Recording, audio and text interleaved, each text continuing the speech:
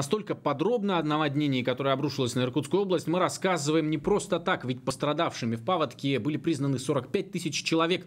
Такого масштабного бедствия в новейшей истории страны еще не было. Другие цифры и факты озвучим в следующем материале.